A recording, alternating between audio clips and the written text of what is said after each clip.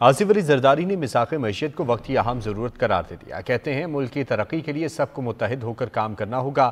پاکستان متاثر ہوا تو سب متاثر ہوں گے۔ ایک سوال کے جواب پر سابق صدر نے کہا مجھے کسی نے دھوکہ نہیں دیا نون لیگ کو دھوکہ نہیں دوں گا۔ معیشت سمجھے گی تو ملک چلے گا۔ آصف علی زرداری نے مساق معیشت کو وقت کی ضرورت قرار دے دیا۔ لاہور میں ایپٹما وفد سے گفتگو کرتے ہوئے سابق صدر نے کہا اللہ نے پاکستان کو بے شمار وسائل سے نوازا۔ جو پاکستان کو غریب ملک سمجھتے ہیں وہ احمق ہیں۔ ملک کی ترقی کے لیے سب کو مل کر کام کرنے کی ضرورت ہے۔ کرکٹر کو پارلیمنٹ میں کہا تھا چارٹر آف اکانومی کرو۔ اس آدمی کو کوئی اندازہ نہیں تھا۔ اس نے کوئی کام کیا ہو تو پتا ہوتا۔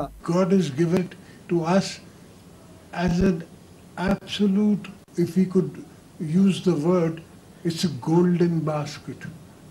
the cricketer, I told him, second day or third day in the parliament, that sign a charter of economy with us. I don't care what you do to us.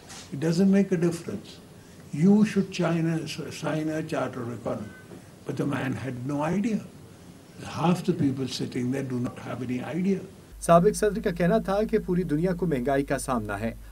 عام آدمی کے مسائل حل ہوں گے تو وہ ٹیکس دینے کے قابل ہوگا معیشت کی بہتری کے لیے تجارت کو فروغ دینا ہوگا پاکستان کے زر مبادلہ کے ذخائر کو سو ارب ڈالر تک لے جائیں گے سعودی عرب ایران کے تعلقات بہتر ہو گئے ہیں اب Pakistan Iran gas pipeline بھی جلد شروع ہوگی Now that the Saudis and the Iranians are getting together, there is no reason for you not to get that pipeline. Irani border, the pipeline is there. It just has to be connected to your own pipeline. So togetherness is the key to get to Pakistan's better future. And nobody who doesn't know agriculture, because we are an agrarian society. ایک سوال کے جواب پر آصف علی زرداری کا کہنا تھا انہیں کسی نے دھوکہ نہیں دیا وہ نون لیگ کو دھوکہ نہیں دیں گے